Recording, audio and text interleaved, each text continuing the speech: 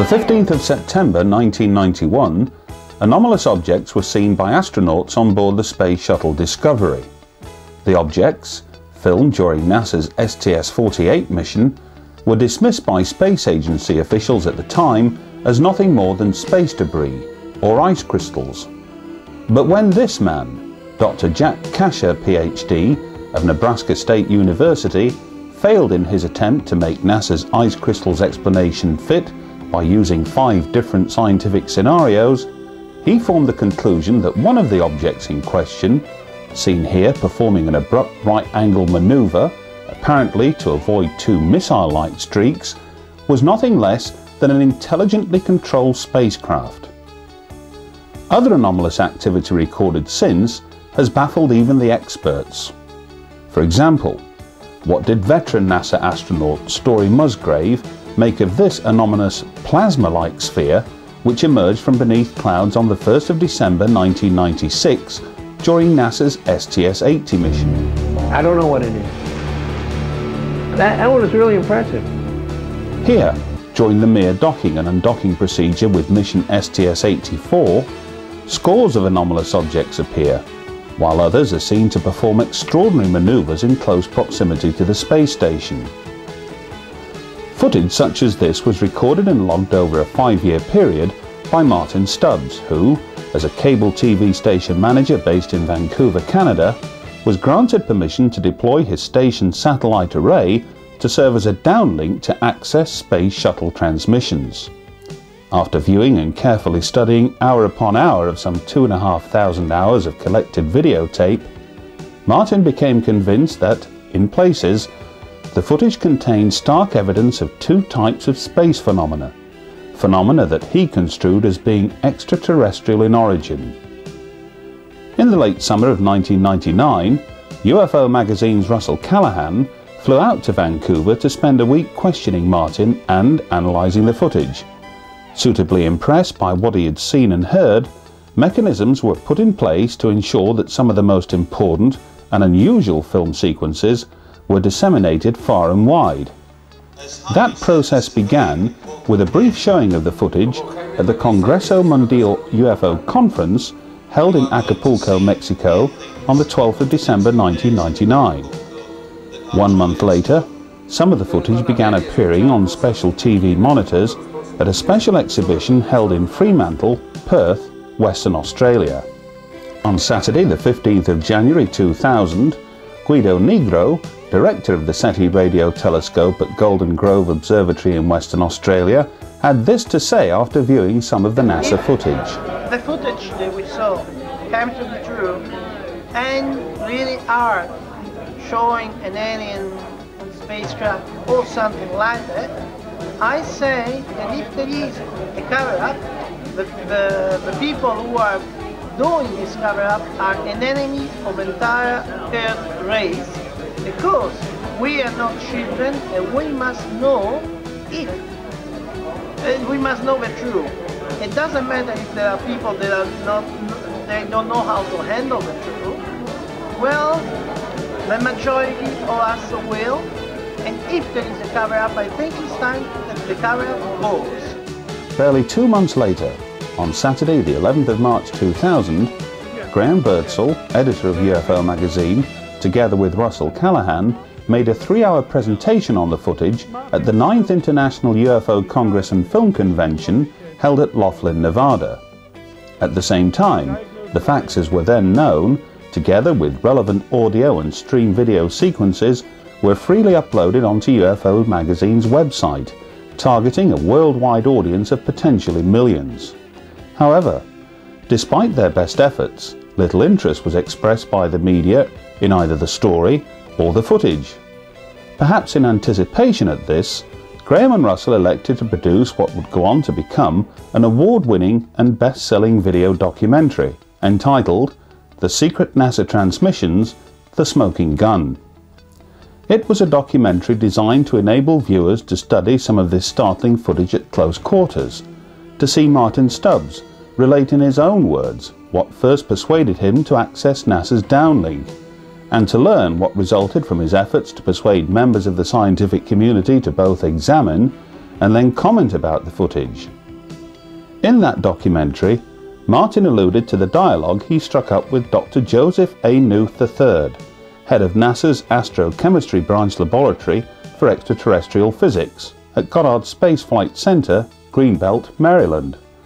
Martin referred to Professor Weinberg of Simon Fraser University in Canada, who expressed genuine amazement on viewing the footage and who told him that it had to be there, doing exactly what it was.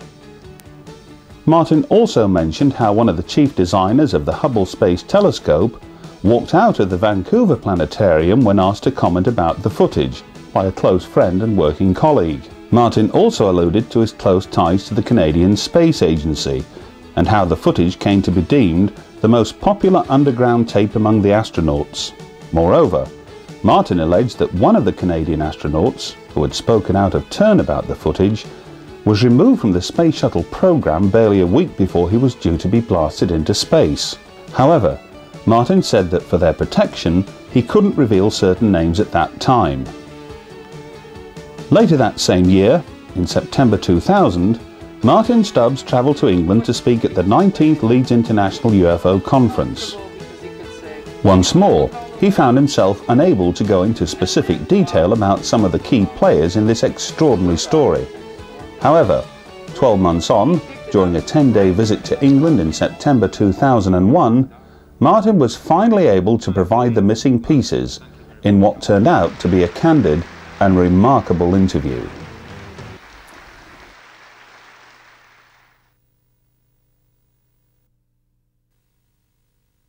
Martin, September 2000, and you travelled over from your home in Bowen Island, Vancouver, Canada, to attend the 19th Leeds International UFO Conference at the University of Leeds, where you talked at length about some of these extraordinary anomalous images uh, that you have described as Space Phenomena 1 and Space Phenomena 2 in the resultant video documentary of this uh, topic that has come to be known as the Secret NASA Transmissions, The Smoking Gun. Now, that particular conference, you mentioned an individual not by name, who played an integral, a key, key. Uh, part, if you like, a role um, in bringing this information out to the fore.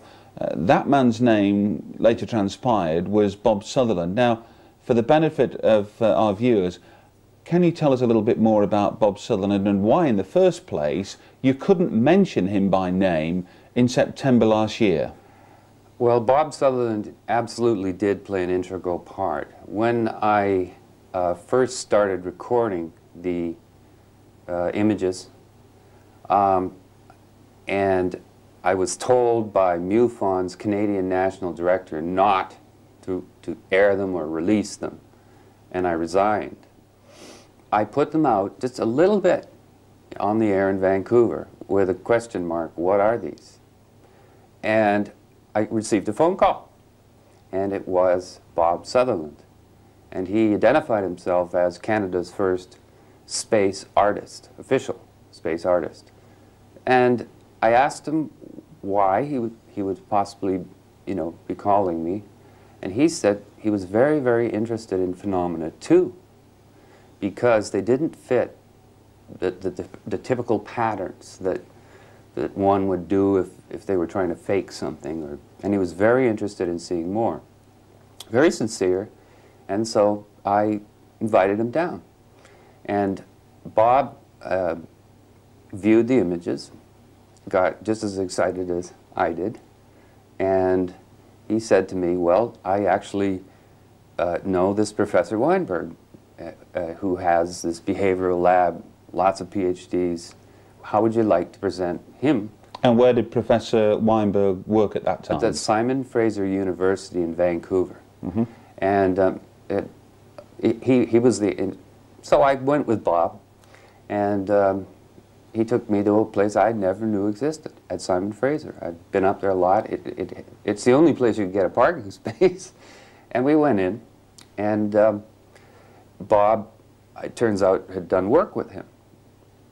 And I, at this point, was not sure of what. I hadn't grilled or questioned Bob on, on Professor Weinberg. But um, when I got in there, I, I saw this was certainly uh, an amazing place. They were analyzing voice things from um, um, orca whales, and they were looking at brain scans with colored things, etc. And um, Dr. Weinberg did not see phenomena one. He, he's, we showed him phenomena two. So by phenomena one, what we're talking about here, for the, the- benefit of, of people who are not familiar with, with, with your description of this, we're talking about sphere-like, anomalous sphere-like Yes, the- the- activity the- um, that, that are actually visible um, on the TV screen as opposed to space phenomena two, Two, which- which are very, very quick, very, Very, sharp very quick. Uh, to the untrained eye. Exactly. So he's not looking at spheres, he's looking at this space phenomena two. Two, because and, it- and we know that his reaction was one of uh, amazement. amazement and and that's what made it so interesting is I, I knew going in that if I you know that he was a very uh, a top person in, in terms of uh, thinker. And um, I- felt that uh, instead of just getting the usual ice cube kind of answer that this would be very challenging. So at first he, he tolerated us and then he, he watched it and then he got excited and then he took over the control. And uh, at one point, I was talking to Bob, and he, and he, he actually grabbed the hold of me and said, look at this one, kind of thing, and et cetera, et cetera. Now, now, can I just intervene at that point because? I don't um, I want to move the story on a little bit. Exactly, but I I mean, understand um, it's fair to say that um, Professor Weinberg expressed this initial amazement and interest um, in space phenomena too. Yes. But it's also fair to say that later on, um, when his name, if you like, became publicised Right. through the documentary, Exactly. um, he, if you like, gave backward. He denied even meeting you or- Exactly, or, looking which- at any of these me. images. Which Yeah, shocked me. Yeah, I wonder um, what was the reaction of Bob Sutherland when he got to learn that Professor Weinberg was denying all knowledge of that meeting. Uh, Bob, Bob uh, just wanted to stay out of the politics of that, and I really have to say that um, it was your effort at UFO Magazine to email him back and remind him, and he and and he quickly reversed his position to one of, and I think that's safe to say that he just said, "Well, I don't remember the conversation quite the way you remember it," but he's a very, very nice, very intelligent man, and I'm sure he remembered every word. Yeah. And and and the other thing was that I, he had told me some private things, his private thoughts on um, the whole gamut of, of what might be going on. And I think what happened after you reminded him, UFO Magazine reminded him, I think he remembered that I had kept his confidence. That I had not talked whatsoever about any of the private, personal information because I understood his position was very touchy. And he was the first scientist. I mean, Bob, I didn't realize that Bob Sutherland was had done so much work with the Canadian Space Agency. Yes, because you mentioned earlier that both Professor Weinberg and Bob Sutherland had worked on a, on, on a project. Yes. Um, can you give us a bit more information about specifically what that project was? Well, the, yes. The, the project, when our first female astronaut, Roberta Bondar, who's a very big hero in our country, she went into space. And when she came down, they had to put her away for a while uh, from the public because she was in a deep depression. And then I learned later that, that she wasn't the first one. So um, Bob and Professor Weinberg had previously been working with NASA on a few other projects, which, uh, I, rather than get into that, I'll just continue. Um, so um, he was asked to, um, because he was friends with the individual at the Canadian Space Agency who picks the astronauts. Okay, well, let's mention her name. Uh, because we've published it yeah, um, recently. yes. um, Uh, we're talking about Lena Toomey. Yes, we are talking about Lena Toomey. W- was this a platonic relationship? Oh, or it was. They were friends. I mean, that they're absolutely. Bob Hmm. is happily married, and he's with uh, his. He has a son, Right. Yes, I but think, he it's said I think it's important to, to, to, Yes. to put this relationship, if you like, into context. Yes. But they were good friends. very good friends, and he really respected her, and she respected him because he what he did was he had to figure out using um, his knowledge of art. He's a very well-known international artist in the arts community around the world, and um, what he had to figure out, uh, his contribution was, is it is it something visual that is causing them problems in space. And, and he, he, he, his conclusion was yes, it absolutely was. And he proposed uh, a series of circu- circles We're talking now about the project with Professor Weinberg. with Professor Weinberg, but the two of them worked on uh, together, and Bob came up with a series of drawings that they placed on the next shuttles around the shuttle, under the belief that there wasn't enough familiar curvatures and things that for the eye to. Um, it was so much unfamiliar territory in space.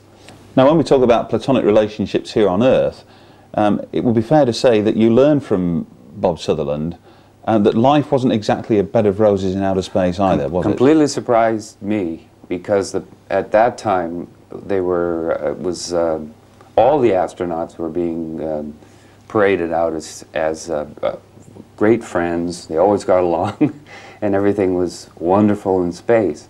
And Bob shocked me when he he said that it wasn't just Roberta Bondar, and um, that there was hostilities. Think they were arguing with the control rooms. They they were arguing with each other, and um, and part of it was just plain uh, a depressive something inside them that came out in space. And presumably that um, insight, if you like, into an astronaut's other life in space came from his friend Lena Toomey. It did. Um, but presumably following on from that, um, the kind of uh, ramblings and uh, noises that came down from the space shuttle were not, if you like, on a, on a public open uh, line. No, and and um, just to segue to where we are now, um, for those interested, uh, NASA is now slowly beginning to let the stories out about how they are now looking at it and how it has been, and they've completely verified everything we've said, what Bob said, what Professor Weinberg was de- dealing with. Yeah. And- Now, if, if I can, um, one of the great sentences, one of the great remarks, if you will, and that has been used to good effect in, in, if you like, promoting uh, the secret NASA transmissions, the smoking gun, um, is this comment um, where we're led to believe that this footage was put on a videotape Yes, I did put it. and uh, it got somehow to the astronauts who labelled it, you know, their favourite underground tape. yes, I, Tell I- us about that well, I'm- because how did it get to the astronauts for them to sort of come up with that view? Well, it got to the astronauts through me and Bob Sutherland. Bob sent Linda the tape, and she passed it among the astronauts because we, we were uh, at that time learning what everything we could about, and, and I had no idea, really, honestly, of just who we, just how important she was. I think at this point people would be interested to know how many sort of astronauts on the Canadian Space Agency program are we talking about here? Are we talking about a handful, two, three, or more? How many do you know or are aware of actually got to see that tape? And indeed, whether anyone else within the Canadian Space Association, researchers, technicians, Right. engineers, and so on, um, actually got to see the tape? Uh, oh, it was more than a handful. At first, I thought it was a handful, but um, it it seemed to be to be getting around the the, the astronauts maybe uh, were pa- were giving it taking it home, and the most interesting part about this is that the astronaut who was most interested, who was sort of the the astronaut who was giving it out, you know, in charge of it, was Colonel McKay, who This is Colonel Mike McKay. Mike McKay, who uh, we couldn't name last time either. And um, until Bob Sutherland, uh, you know, allowed us to. We'll, we'll, we'll talk Yeah. about you know But- why, but why it was that Bob right. Sutherland suddenly Yeah. decided to go public in, But he in was, um, but this was an important yeah, figure. Exactly, and he got pulled off uh, a, a flight, STS 74, um, f- I think four days before. So when you and Bob learned that uh, Major Mike McKay had been pulled off this space shuttle program, as you say, within Yeah. less than a week of launch, and what was your reaction? What was your response? Uh, well, at first I, I was, I wondered if he was the astronaut that was the one that Lynn, that Lena had said, uh, you know, was most interested, and the one that was was in charge of distributing it among other astronauts and other space personnel. And so I put in a call. Bob actually put the call in, and I was there, and she confirmed that it actually was. But it was right after then. That's when they started being talking coldly to us in a in a cold, you know. Yeah, let me. Two questions spring from that. First of all, did Bob get any sort of response or reaction or indication from Lena when he either spoke to her on the telephone then or met with her later Yes. that um, somehow um, Major Mike McKay's removal, if you like, from the space shuttle mission um, wasn't as the official explanation was given for medical Yeah. reasons, and and and secondly. Um, did Lena at that time, and I know it's a difficult question for you to answer, um, you know, was her relationship, if you like, with Bob suddenly affected as a result of that? So two very Yeah. relevant questions. Well, the last, the answer to the last question was yes. The the re- relationship was severed at that point. I think that's when everything changed, and and and um, and we decided just we did ask her. By the way, the answer to your first question, we said, was it because of the tape? And she said, of course, no. But I can't tell you, and we're not in any position that we have to tell you why he was pulled off the flight. Well, this doesn't happen. He's a very highly trained.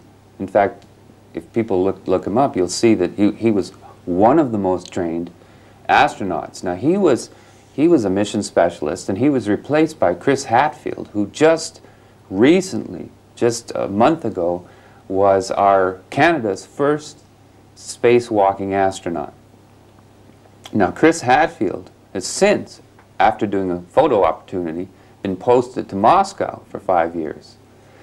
And um, so that's basically, uh, well, so I'm, we're not going to see, I, because I was going to talk to him and, and won't get access to him. Okay. When you mentioned um, this individual, who we now know to be Bob Sutherland at Leeds in September nine, uh, in September 2000, um, you hoped, you told the audience that Mm. you hoped uh, that you would at some point in the future, in the near future, uh, be able to release not only his name but Yes, the but the circumstances and, the re- reason, uh, right. and, and all the rest of it. And on your return to Vancouver, um, tell us what happened that led to this. Well, when I got back to Vancouver, um, Bob was very sick. Uh, he's ill, and so he he uh, he decided that he didn't think he had a lot of time left, and he wanted the story to come out. All, he changed his mind, so he gave me the okay to to tell nearly the whole story and um, th- that was printed in I think the December issue of UFO magazine. But we still were missing the the link between Dr. Weinberg and Bob Sutherland, and and that has when I that has just come out in Vancouver. Bob was protecting his son. Now, why would Bob protect his son? The answer is his son is one of, if not, the, has the highest IQ of any child in Canada. Tell us a little bit more about the name of uh, Bob Sutherland's child, his age, and uh, and just how clever he really is. Well, Bob, Bob Sutherland at the time um, didn't want his son to be a part of the story, even after he he was willing to name names and, and tell his full story to us, or to, to me. And, um, and I was able to tell UFO magazine. But um, now he, his, his, his family decided that, that they couldn't hold it back. And the Vancouver Sun newspaper on September the 8th featured a giant story and a, and a large picture of his son, Sean Sutherland. Now, Sean now is 12, and he has an IQ, an unmeasurable IQ. It's over 190. And Dr. Uh, Weinberg was also uh, mentoring many gifted children in this special lab and facility that he had. And, what, and, and, about what time would that be? Well, we were talking, yeah, that would, um, that, that would be when he, Sean was younger. I mean, I'm, this a lot younger, so he, because yeah. he's no longer at Simon Fraser University. No, no, that's something I should point out that uh, Dr. Weinberg has since gone on, found a little community, and he's the mayor of it. And, and, and that community is where? Uh, it's it's a it's a little community uh, that's a sub community of Port Moody in in uh, which is a suburb of Vancouver. Um, it surprised me.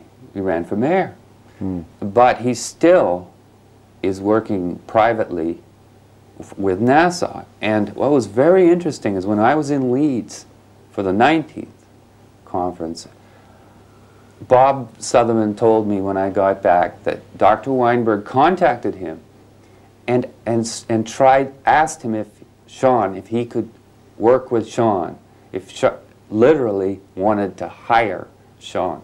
And at that time, they wanted Sean to integrate and be a regular boy as long as he could in the school but, But what is what is um, doctor? Is he a doctor? Is he a professor? How does he go by? Because you've used two references. Well, he's a professor and a doctor. He's a professor and a doctor. What's he most commonly known by now, uh, apart from Mayor?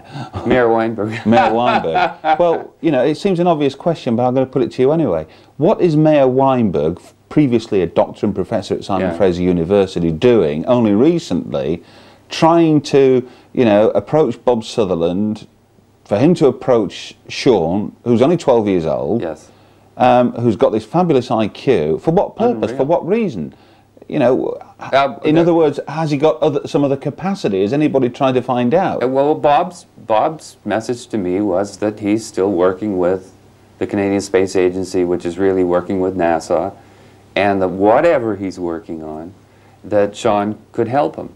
Now, Bob was not happy about that because Bob, of course, turned said no, just the same way he asked us not to release Sean's name. Um, but now that Sean's turning 13, uh, you know, he's going, he's going to be a teenager, and, and it's time for him to head for MIT. And so um, uh, Bob said no. Then they decided, just like I say, September 8th, 2001, they published in our in our paper in Vancouver, British Columbia, Sean's two pictures of Sean, just talking about what an extraordinary child he was. He's he's uh, not only um, uh, he's right. He's he's not only plays every instrument, but he he's written symphony, symphonies, arranged symphonies, but he he suddenly changed and asked his dad if he could go into into astrophysics, uh, theoretical quantum etc. Uh, absolutely out of this world. But there's, there's, there's no evidence to suggest that one of the reasons why Sean wishes to go into sort of astrophysics has anything to do with um, the footage or the anomalous activity, or is there? Oh, I think so, absolutely. Sean, Sean, uh, he was a wonderful boy. You take him to the local hamburger joint, and he just a boy. But he was as interested in asking me about these these things as uh, Bob was, and I had it was like talking to a man. He was a very very astute person. Where, mm. for instance, where someone would say, "Now, how did spaceships uh, fly?" It's actually this happened in his class, and uh, most kids said flames come out the back.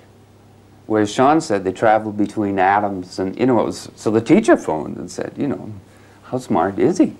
And then, uh, and and then the final straw for Bob, because realized they couldn't keep a lid on it, was the school board had, un, without his, their permission, tested the boy, and found that just how smart he was, and so. Um, so that's why I can say that Sean Sutherland was, is the connection, the, person that we were trying to protect while he was just in normal school.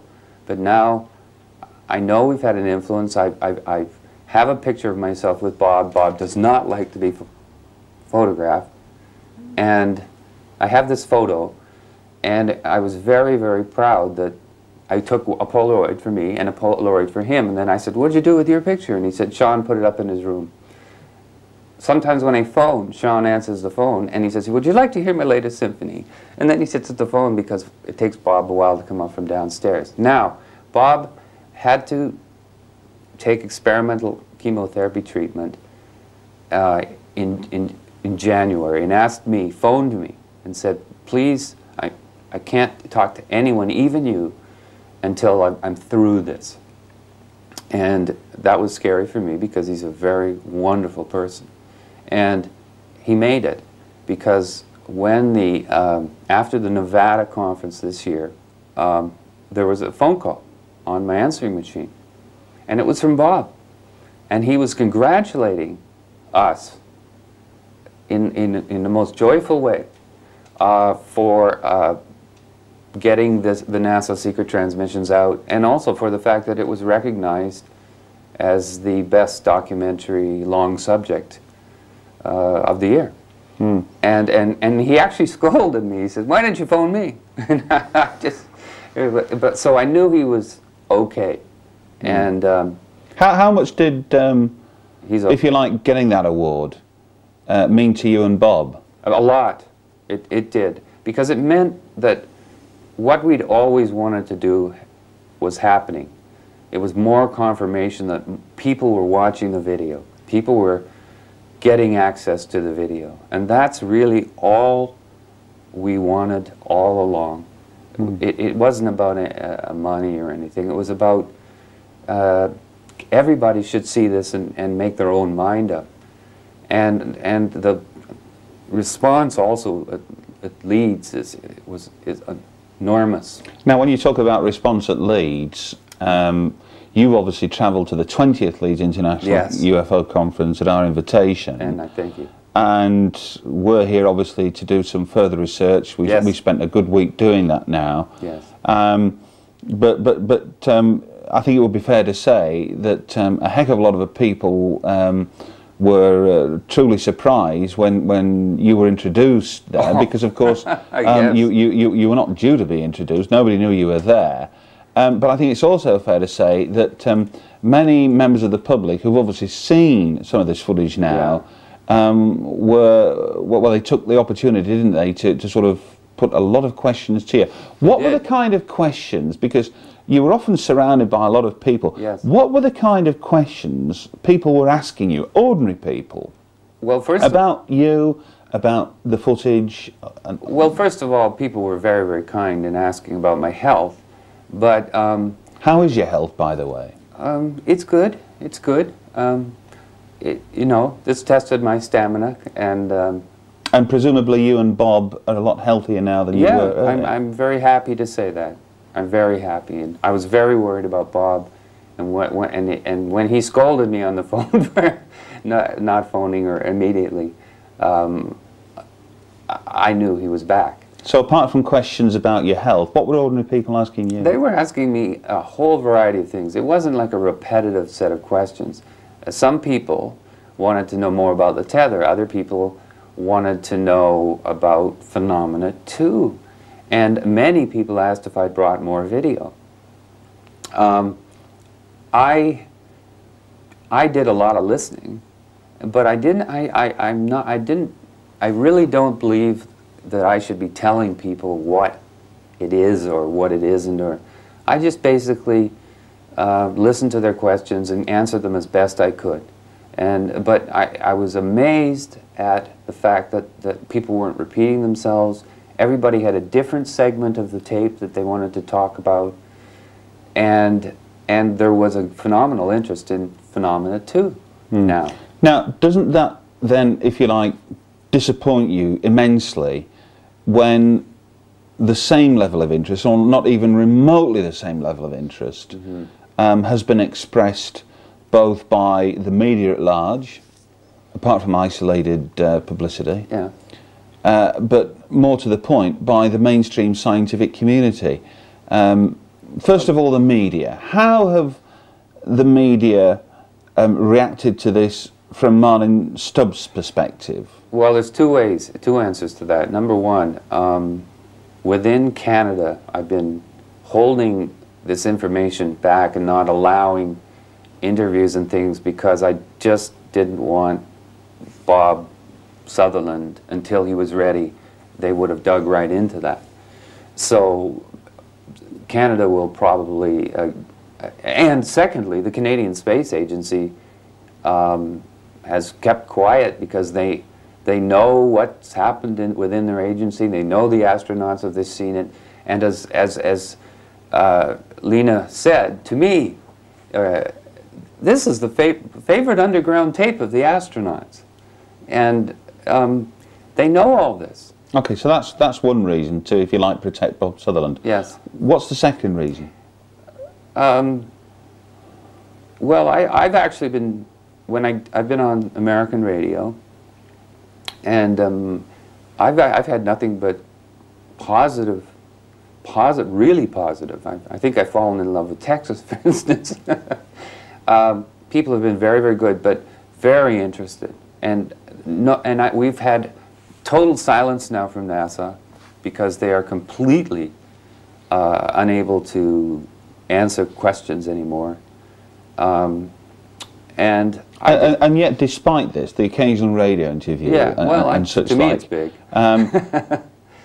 nationally, internationally, Yeah. it's obviously been left, if you like, to the auspices of UFO magazine that's why I- through its exactly. publication That's and, and through the exactly website um, and through the video and all the rest of it. Yes. And to to, That's to, what's to, uh, to disseminate this and, and to tell the story.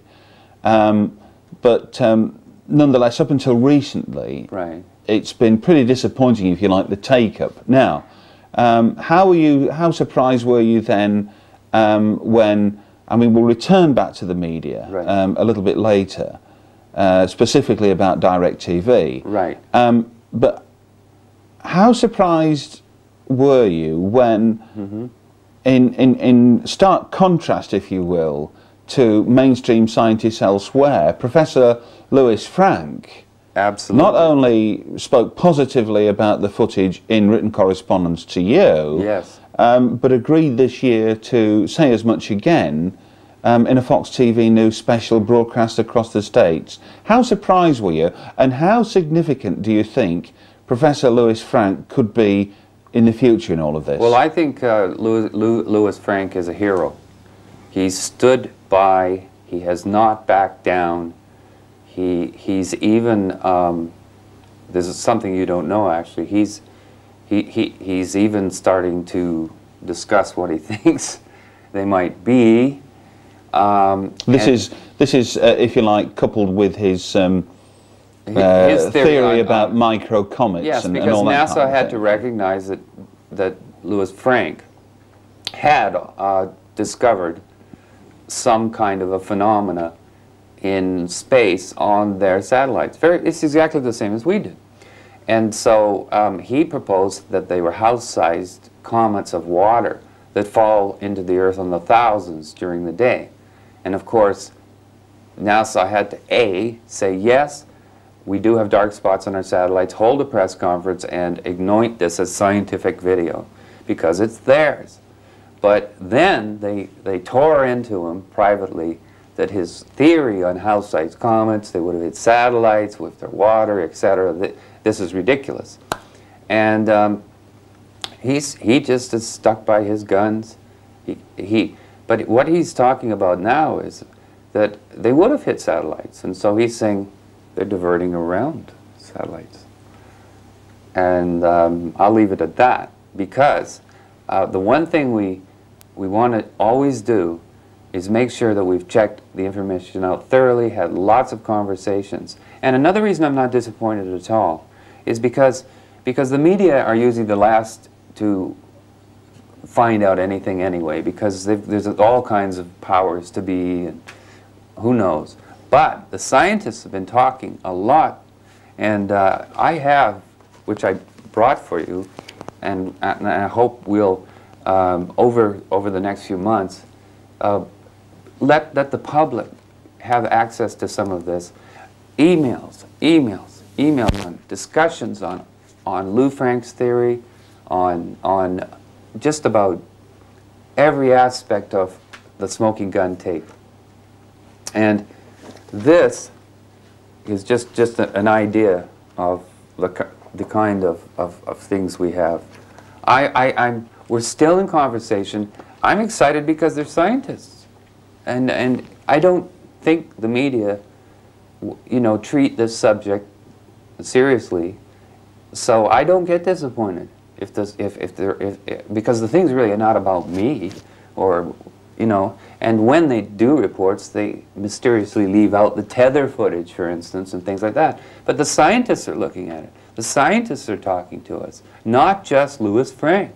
Mm. And now, that's presumably it's not just members of the public that are looking at this. It's not just Louis Frank that's looking at this. Um, and presumably stemming from that, uh, it would be fair to say that quite a number, I would suspect, yeah. of scientists subscribe to DirecTV. Yes, they America's do. largest pay-per-view system. It has, of course, it, it has more people, DirecTV, than the entire population of Canada mm. that access it. That's how. Well, we've been given a figure of about 35 million. Well, that's more than we and, have. and we know, we know, for example, that it stretches out to subscribers as far afield as Mexico. Yes, I've heard that. And which surprised me. It's it's been airing throughout the month of September. Yes. Um, I phoned my wife, and and she she uh, told me that it's being picked up in Canada, and that I've already got phone calls that I have to when I get back I was going to say, oh, are you hoping, as perhaps we're all hoping here, that um, this is going to generate an awful lot of response from oh, people yes. who, oh. for whatever reason, oh, haven't seen Fox TV, uh. haven't picked up a copy of UFO magazine, haven't seen the video of the secret NASA transmissions, yeah. but now, through access via DirecTV, okay. um, across, if you like, North America and certainly Central America, Mexico and what have right. you, um, are you hoping that amidst the response, hopefully a positive response, I'm yes. sure it will be, oh, that there might be one or two, if you like, even more key people stepping be. forward? I well, when you think that Bob Sutherland came forward after just seeing a bit, I I, I am expecting quite quite the response. One of the things I learned from the American radio shows was people wanted to know how to see this. And this is a monstrous country, you know, with 300 million people, and then Mexico is big, and I and and DirecTV has made it happen. And for the first two people I talked to, one from Mexico and one my own wife, uh, the first thing they mentioned was, "My goodness, this is this where I'm getting calls because mm. you know people just look up Bowen Island and they can find me. Yeah. And I'm not hiding, but." But so it looks like when, when it looks like this next year is crucial. And, and I am going to do everything I can in Canada now. It's now that Bob's story's out, now that the people of Vancouver know about his son, um, I will be talking to the public and showing them in Canada uh, and working with uh, people in a little more open way. Uh, and I, I truly believe that, uh, that the conundrum that NASA's in with Phenomena 2 and Louis, Dr. Louis Frank is going to, they're going to have to do the same thing and say, yes, there, these, this phenomena is there, but we don't know what it is. And if we put, then, if, then I think everybody can weigh in with their theories on what it is. Now, and, and I'm sure they'll say, oh, those don't make sense and those don't make sense. But we will have made an incredible breakthrough because because um, we, it'll it'll allow more and more and more people to, to contribute yeah, to our Rome. Rome wasn't built as a day. no, and, and I have patience. Um, a lot of patience. Now, you've also, over the years, been patiently collecting a whole host of news clippings, information, Yes. snippets, emails, and one thing and another. Drives my wife. And you, you've kindly agreed to share these with us, and, and these will be introduced in the fullness of time. yes. Um, I'm interested in that um, we're going to show a news clipping now, and this is a news clipping which appeared in Canada relating to STS 75. As far as we can tell, this information, which came from an accredited press agency, It's stunning. hasn't appeared anywhere else. no. Two questions stem from that. First of all, this news clipping is referring to STS 75, the stranded tether. It's talking about um, these extraordinary um, circumstances in which, when NASA scientists on the ground re established contact with the satellite, uh, they found curious things had happened to it, its internal mechanisms and such like. But secondly, and perhaps even more importantly, why is it that this, and we've got many, many other examples Yes. of information that has quite clearly stemmed from NASA, not been picked up by other countries, not least in America itself? I think because it is the smoking gun. I truly think that's the answer. And um, end of statement. It's the smoking gun. And it's not. You can go on NASA's website and it's not there. It might be the end of the statement, and I accept that. Um, but let me just put another point to you, because you've not really answered the question as to how it's possible Yes. for um, statements like that to appear in the Canadian press, but not in the US press and elsewhere. What is it, you know, why is it that this information, which is absolutely Un- uh, astonishing, it's is astonishing. appearing in Canada Yeah. and yet not in America? Well, you know, I don't think I'm qualified to give the answer other than to just suggest it's deliberate. And just as the most recent information uh, didn't appear anywhere else either, which is about which is about what the tether is doing, and um, and and I'm sure that uh, UFO magazine will will tell that story too. It's extraordinary and it makes the tether sequence, the additional information that we have makes the tether sequence even more smoking. It's flaming. Because it's clear, isn't it, It- now, it- from the information Yes. that was gleaned by Russell Callahan and presented during his lecture at the Leeds conference in September 2001, Unbelievable. um, that um, this isn't uh, your ordinary kind of experimental No. tether. Indeed, um, this isn't um, an experiment that is necessarily isolated either. Correct. That there could indeed be, um, if you like, offshoots of Yes. this kind of experiment involved There um. With other satellites. there are. Tell us a little bit about um, th- th- these other offshoots, if you like. Well, the, the other offshoots are the National Post, which is Canada's new national newspaper, printed a story about how they were cleaning up space debris using uh, a, a- small satellite or something. They, they fuzzified it a bit, the art of fuzzification. And, and, um, and when you put that right beside the information that Russell Callahan came out with, uh, it really is spooky. Because uh, this, th- basically what they're, what the, I think we forced them through the tether to come up with something. And do you, do, you, do you not find that the terminology also points Oh, in that direction? because we're, we're talking about, in the latter satellites. case here, we're talking about um, some killer form of uh, Oh, they use these- system. they use these- But, but the, the, the, the actual description of the Is- is- tethered satellite, which of course we've been talking about and showing and discussing Is- for the past two years, that. Russell Callan um, produced, Right. it was described um, as the killer Terminator. Yes, I Uh, the- couldn't the- believe the- I mean, terms. it, was suicide uh, satellite, killer Terminator, etc. The, the, Terminator. Yeah, But, killer, Terminator. There's it doesn't exactly We've got a lot. engender um, d- uh, feelings or visions of some kind of peaceful use No. um, of an experiment in space when you describe the tethered satellite you're- um, as the Terminator. Exactly, and and they're claiming that that this is just going wandering around the space or this or they, uh, and that uh, it's somehow recognizing space debris and is bringing it down. And then they and then they illustrated it with a circ with the circle of the Earth with all kinds of little dots saying these this is how much space debris there is.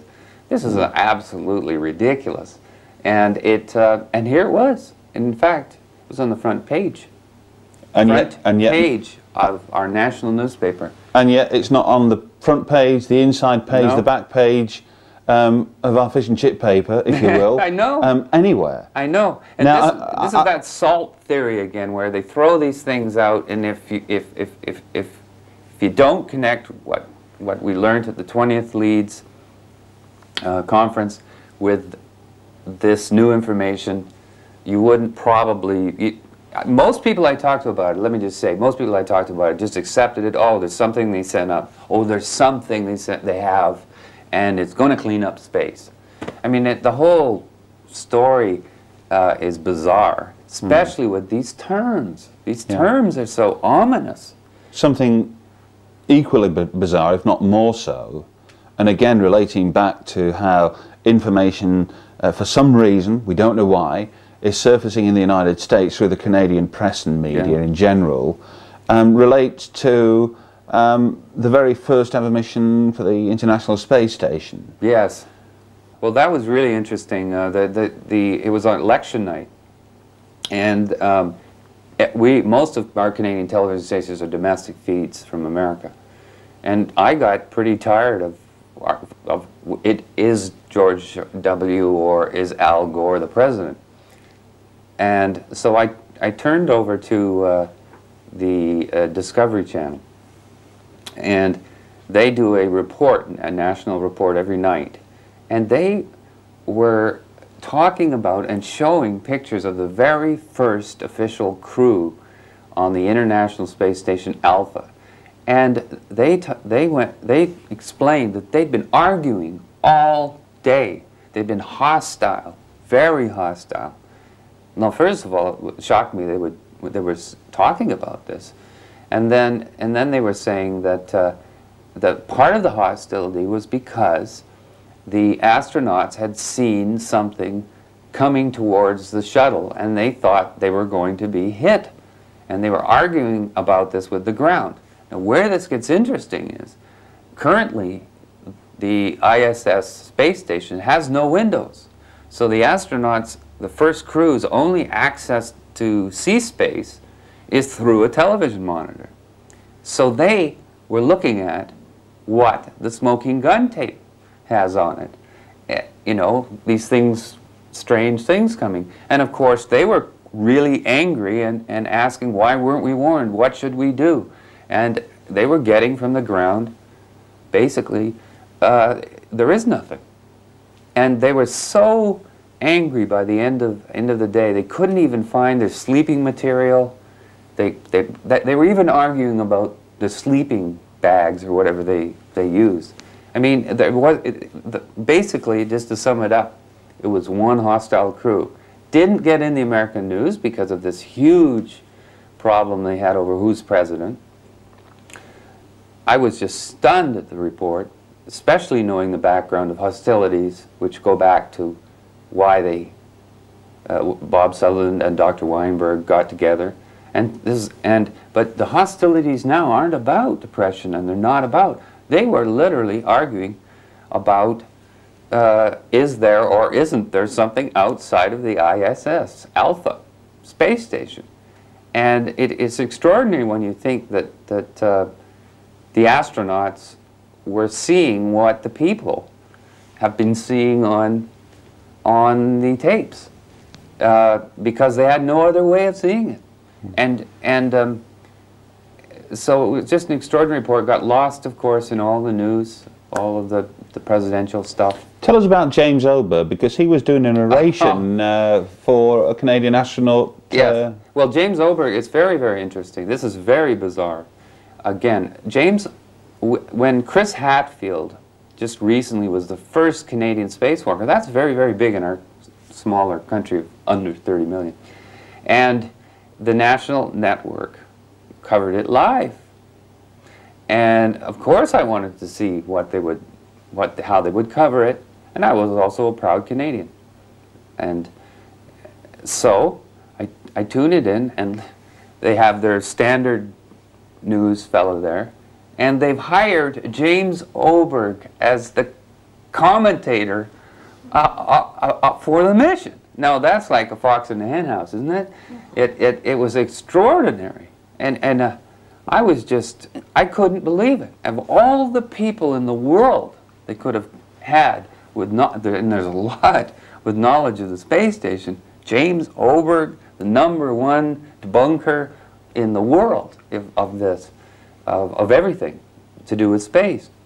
And of course, they introduced him. This is another interesting thing. They introduced him as a former NASA employee, and he didn't correct them. Whereas he's always saying in other places, well, you're falsely accusing me of being a NASA employee when I wasn't a NASA employee, and blah, blah, blah, blah, blah. He had a chance to, to correct it, and he didn't. I've got all this on tape. And then um, the other thing was, at some point in the discussion, they asked him, do you know anything about film or video or, or how many frames or anything like that? He says, I don't know anything about that kind of stuff. Nothing whatsoever. Got that on tape. Then the third shocking thing was that now NASA is downloading on what is called the S-band, and that really means still pictures. And even the headlines in our paper had this statement by Chris Hadfield when he walked out and we saw him exit the spacecraft in a still photo. No space, just him against the background. And yet he was going, wow, what an incredible view. And, and, and, and they literally, that's the headline that's, that's, that followed it. And yet we never saw any incredible view, even though the helmet cameras were built in Canada. And the whole mission for three hours, because the networks, you know, gave three hours to this, even though it was a little longer spacewalk. Um, these the S-band, they kept, and, and James Oberg was there saying, well, you see, they can't really get the signal uh, down on the K-band, and they can't even reach it, and blah, blah, blah. And I've been following this thing since 1973, and they can do everything. And, and it was just extraordinary. And then every once in a while, when there was just a, a, a picture that was just impossible, just a close-up, you'd see some movement. So, and then it would go still again. This whole sequence is unreal. so you had three hours of still images Still on there. images, and the and the most incredible part of all is the, the the news readers, the national news, the papers, everybody just accepted it. There was not anybody questioning how come we didn't see them moving around. It was that's how how I think um, the public doesn't really know much about what's going on up there. They haven't seen it, so they accepted that this is what comes off the satellite. And here's James Oberg, you know, literally giving uh, the, the most bizarre explanation for why they couldn't get it, the signal. I mean, this is the most important event in Canadian space history. The first spacewalk. When you think we've waited this long to get us to go into space, and uh, he was assembling the Canada Arm 2, which is a spider-like arm as big as the shuttle that's going to walk around the International Space Station. So it was a very crucial, important uh, mission.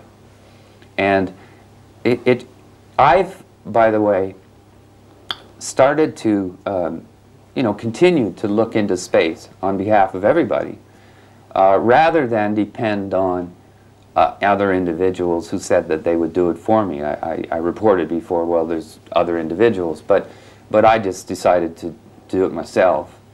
And they have, are, have now, this S-band, this still picture image thing is, is what pretty much they're only putting out.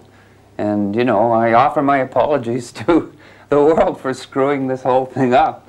But they've, they've definitely uh, learned how to, to uh, uh, uh, you know, to, to, to keep us not from seeing Space Phenomena 1. And Space Phenomena 2, they're piggybacking the signal. It's video compression is the big thing now.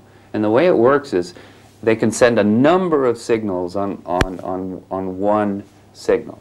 And they do that by taking frames out of the, uh, of the picture and then they replace it with sort of a, almost the same frame. And sometimes you see you know, the astronauts doing this kind of thing. So they almost, they think that, that, that that's how they can defeat anybody from finding phenomena 2 because you really have to have a complete sequence of frames and then you have to split those frames.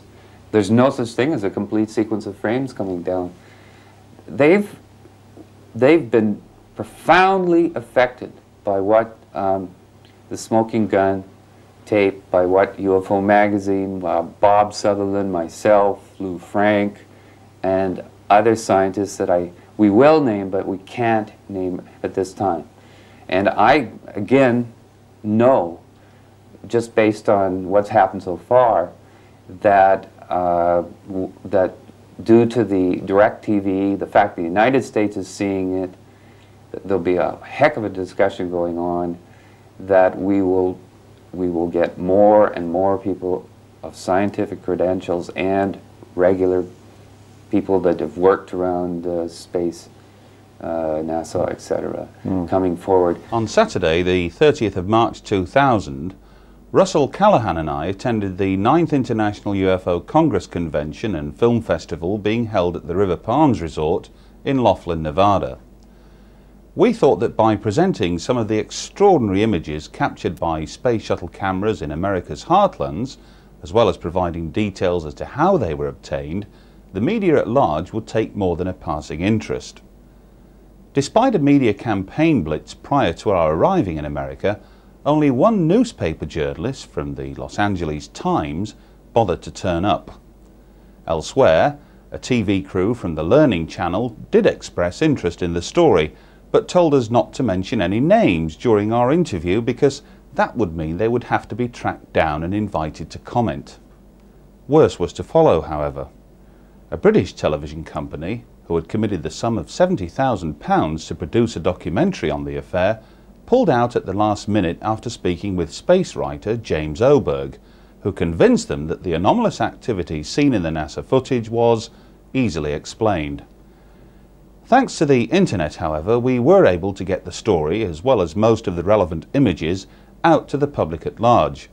In the meantime, copies of our videotape, the secret NASA transmissions, the smoking gun, were much sought after from people around the world. Among the first to view a copy of the video was Dr. Richard Byrant, a research physicist from Cumbria in England.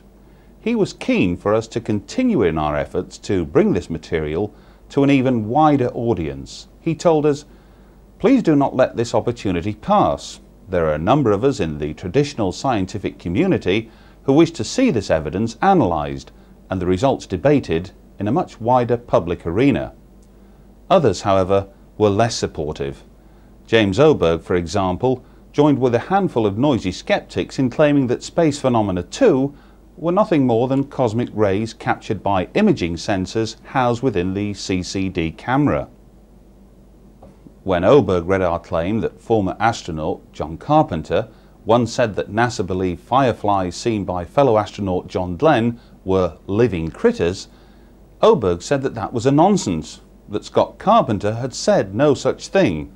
Well, for James Oberg's benefit, and yours, take a look at this. I realize this now.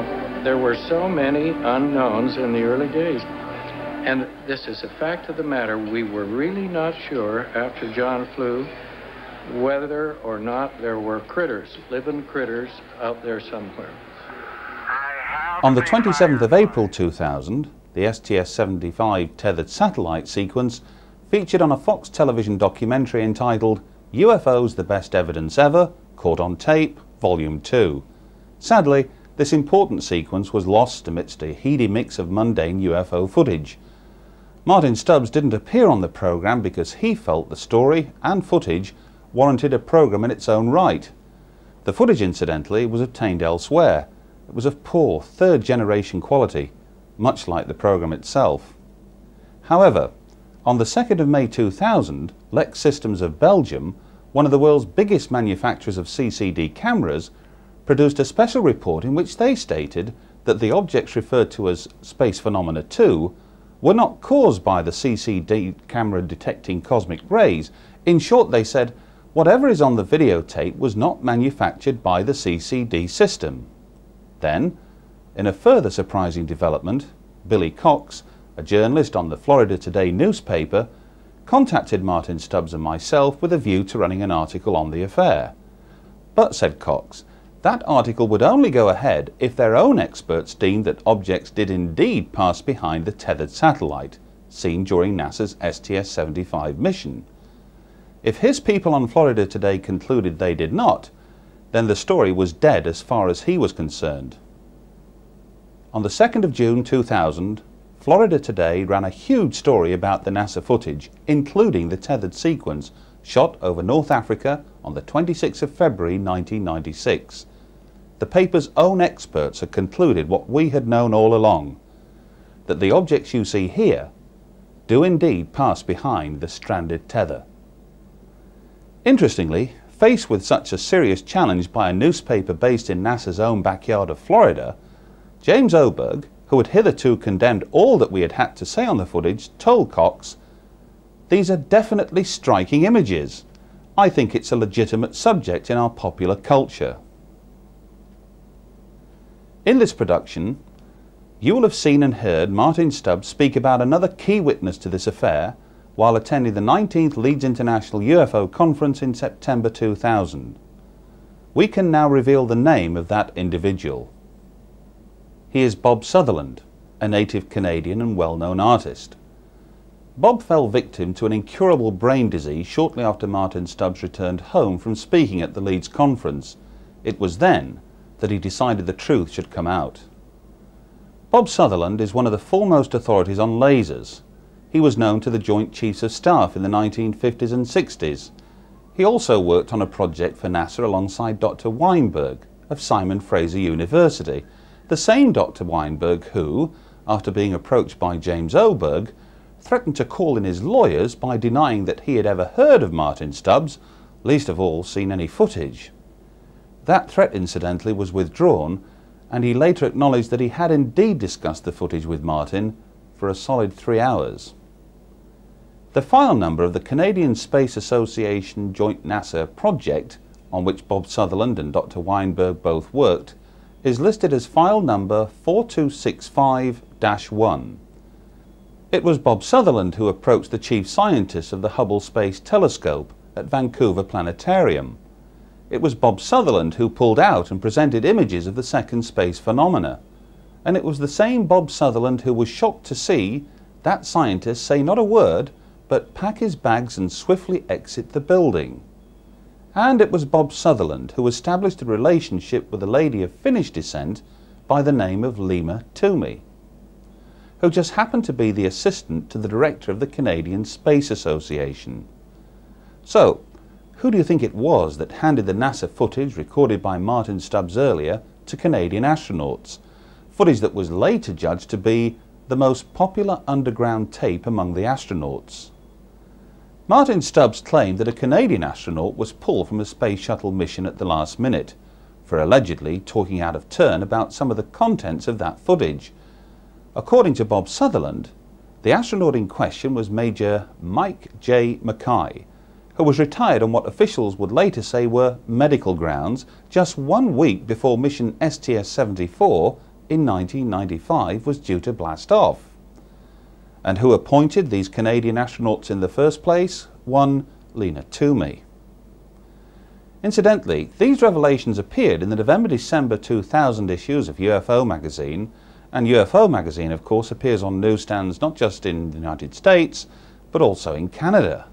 There was not one objection or denial to these claims. So, why do you think that is? But there is even better news. For in that same issue, we also published a written response from a Dr. Lou Franks, who had this to say about Martin's footage, and I quote, I find the contents of your video fascinating. Some of the phenomena on the video are not easily explained. Unquote. So, who is Dr. Lou Franks? Well, he's a professor of physics at the University of Iowa. He's an expert on space-based plasma. He worked on instrumentation for the Galileo mission to Jupiter, as well as plasma instrumentation for the Japanese Geotail spacecraft. I don't think there's any cover-up. Dr. Louis Frank is a physicist at the University of Iowa. Dr. Frank helped NASA develop the instrumentation for the Galileo mission to Jupiter. He believes Jeff and Martin are on to something. Are they real or are they not? Uh, there's just simply no scientists that go in and take a lead that they say they want to study these. These days, somebody suggests something that's a little bit out of the norm, then your funding can get cut. How interesting that Dr. Frank should claim that mainstream scientists are afraid to become involved in this subject, not out of fear of ridicule so much, but from fear of losing their budgets. When Russell Callahan and I began the slow and at times laborious process of examining what was literally hundreds of hours of NASA footage here in England, we knew that expert opinion would have to be sought, if only to strike a balance for our impending documentary. David Caton, a former British aerospace engineer, duly approached Ian Morrison, the director of Jodrell Bank, to invite him to view the footage and pass an opinion. But Ian Morrison refused point blank to even look at the footage, let alone comment on it. When David Caton asked why, Mr. Morrison said, Because NASA could pull our budget. I dare not take the risk. Mr. Morrison recommended that David try the head of astronomy at Salford University. Well, he did, and got the same response. But those scientists who have dared to view the footage believe that it contains evidence of something quite bizarre. Interestingly, in a letter dated 12th of February 2001, Mark Gazarevich, technical director of Lex Systems International Incorporated, summed up his take on the footage by issuing this profound statement, quote, Whichever way the armchair experts look at it, they may as well accept the light forms are there, are real, and start to ask what they are. And, as if to add further flames to this mother of all smoking guns, on the 21st of April 2001, the Italian Space Agency revealed that one of their astronauts on board the space shuttle Endeavour had been banned by NASA from relating a message from the Pope because it may, quote, offend non-Catholic astronauts, unquote. What sort of message could so offend non-Catholic astronauts that would prompt NASA to ban it? It's a good question. And although the Vatican will not reveal the contents of that message, we discovered a quite fascinating connection. The Italian astronaut barred from delivering the Pope's message was one Umberto Guidoni, the same Umberto Guidoni who last ventured into space during NASA's STS-75 mission to deploy a tethered satellite. A coincidence or something more? Did Guidoni, for instance, whose residence in Rome lies a mere stone's throw from the Vatican, discuss with the Pope what he may have encountered during that mission? We may never know, but there is something about that tethered sequence that has made NASA nervous and put them on the defensive. And, speaking of defence, it's now my pleasure to hand you over to Russell Callahan, who is set to deliver a groundbreaking announcement. Since the late summer of 1999, when I had the privilege of meeting Martin Stubbs for the first time in person and viewing some of this damning uh, evidence that, that NASA are indeed aware of strange things happening on their own doorstep, that they are indeed recording things with their own cameras um, and being rather deceptive about explanations towards the general public. Let's remember NASA is a public funded organisation. It's there for the good of all Americans and uh, it does seem that there are some rather dark secrets within the walls of NASA, shall we say. Now, STS-75 and the famous tether sequence was something that, as a UFO researcher, when I first saw that, I had to watch it three or four times to pinch myself almost to say, am I actually seeing this? It, is this something for real? Could it be ice particles very close to the camera? Could it be um, just an anomalous event, something that the astronauts were so readily aware of that it just passed the day as, as, as if they've seen it time and time again? Well, it seems that we have touched on on a raw nerve with STS-75. Um, all the armchair skeptics, debunkers, the official skeptics and debunkers, the run-ins we've had with, with James Oberg and many others like him, um, none of them have come up with anything that can tell me why, if, if all we're seeing are, are ice crystals or a little bit of debris close by to the shuttle, that these things uh, appear to go behind the tether. Now, even in Billy Cox's words, if their experts decided that, um, or their specialists decided that the material did indeed pass the tether, they'd run with the footage. So I'm going to go with Billy Cox on this one and say that yes, definitely objects are seen to pass behind the tether. Then why oh why oh why will NASA not challenge us, answer us, ridicule us, do anything they want, but come on, speak about this. Well, there's a darker side to this, ladies and gentlemen. Indeed, something so dark that if it was uh, on my doorstep, I think I might want to keep it quiet. The tethered satellite wasn't the first tether incident to go wrong. A couple of years before, the same type of thing, dragging a satellite uh, on the end of a uh, electromagnetic tether that broke and lost millions and millions of dollars of hardware, but never mind, we'll go back and try again. And yes, they did with the Italian satellite, um, with the story that they were trying to generate electricity, looking to use the tethered system to power things like the new International Space Station that was going to be built. Cheap energy, that was the idea behind it. Solar arrays are fine, but by dragging um, a conductive cable into the atmosphere, we can generate electricity hundreds and hundreds of watts, but not very much ampage for, for the electricians among us, but the trade-off is one better than it is at the other end. In other words, they may gain 20% power by, by dragging this tether. Seems that that's actually not quite true. Take a look at this piece of footage. This factory originally produced lace. Now it specialises in industrial textiles so when the staff received a call from Seattle company Tethers Unlimited, they were ready to help. Rob Hoyt and his partner think they have the answer to satellite disposal. And it's called the Terminator Tether. A couple of years ago, one of the NASA scientists whose job it is to worry about space debris asked us whether it might be possible to use electrodynamic tethers to get rid of space debris. A terminator tether is a long conductive wire line stored in the payload of a satellite. When the satellite ceases to function, it deploys the tether, which trails through space and into the Earth's magnetic field. The moving satellite drags the tether at about 8 kilometres per second through the Earth's magnetic field. This action induces a voltage, allowing a current to flow, which produces a kind of drag effect known as the Lorentz force. After about three months, the satellite is dragged from orbit, burning in the Earth's atmosphere. NASA tried the tether approach itself, but without success. The tether was severed in just four days by the very thing the agency is trying to eradicate space junk. So, how can it be here we are in 2001. We've been running the secret NASA transmissions now for almost two years. It's been out there. We've told people, we've let people see the footage. Television companies, news companies around the world. Even Fox, let, us be honest, we've seen the Fox interview there with Lou Franks on a four minute piece um, for something to fill in the news as a special bulletin, if you like.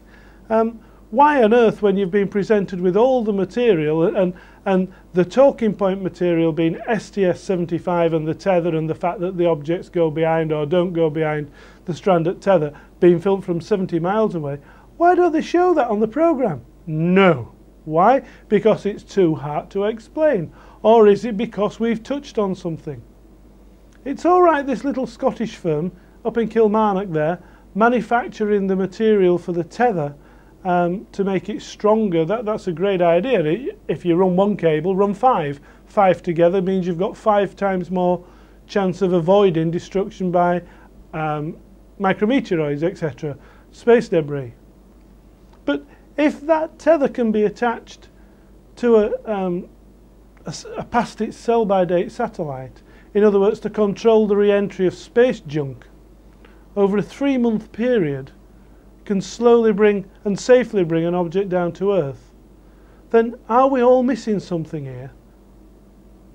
Isn't NASA sitting on the most powerful weapon that this world has ever, ever seen? Isn't it NASA who have got the only affordable payload in space, carrying men, whatever you like? What other country can compete with them? We've got automated launches from, from uh, the Ariane systems from France, etc. Um, the Russians have still got the capability to launch, but they haven't got the money to launch. So sat up there in, in our shuttle are our crews, still carrying out military missions. Space defence, what do we need? A ball of wire attached to the base of any satellite, a ball of wire that probably costs a few thousand dollars to produce, that weighs just a few kilos, that can be deployed at the press of a button and within three months. Everybody's satellites, not just use space junk, satellites for communications, for navigation, absolutely everything. The world runs on these things can be called in. NASA can throw the switch. Not just NASA, the United States of America can, at the press of a switch, destroy communications and navigation around this planet. Now that, if that's not an Armageddon machine, if, if that's not the ultimate war machine, for cheap. We don't lose lives on the ground, we don't need soldiers fighting, we can just bring any country to, to its knees at the press of a button. Have a good think about it. Watch the sequences again, have a good look, have a good listen, and take people to task. Tell them that you think you know what it is that the tether may have been the early experiments with destroying satellites. Quite simply, that's what it could be. It could also be something that we don't know, something that we're not sure about. As the investigation has gone on over these last two years, the information that we, we've come about and discovered says to me that that tethered satellite is a weapon of war. And that's frightening. Thanks, Russell. None of what you have seen and heard in this production would have been possible without the efforts and extraordinary self-sacrifice of two men, Martin Stubbs and Bob Sutherland. In March 2001, the secret NASA transmissions, The Smoking Gun, was voted Best UFO Documentary in a long subject at the 10th International UFO Congress Convention and Film Festival held in Laughlin, Nevada. And the winner is Secret NASA transmissions is smoking oh, gun.